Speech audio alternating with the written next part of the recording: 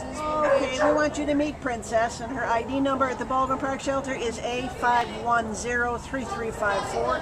And she was somebody's princess. She was uh, an owner surrender, but that's because her owner died, and the family could not or did not want to deal with her. So here she is. She's a uh, black and tan, short-haired Chihuahua, and she's about 15 years old. So she's a senior, and she's been abandoned here because her owner passed away. So poor little thing. And she has got a sweet, sweet disposition, doesn't she, Lydia? Yeah, she does. She's very sweet and she gets along well with other dogs because she's got two kennel mates. Yeah.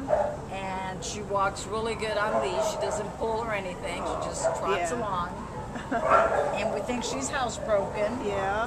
Well, and she's uh, one of the volunteers described her as gentle, and she she is. She's just a darling little girl.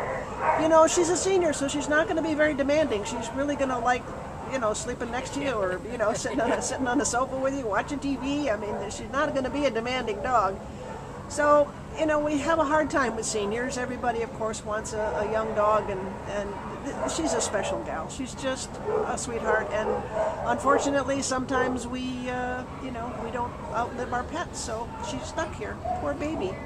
She deserves a good home for the rest of her lovely little life. So, if you're willing to give her that, please come into the Baldwin Park shelter and take Princess home and give her a comfy sofa for, for as long as she wants. Right?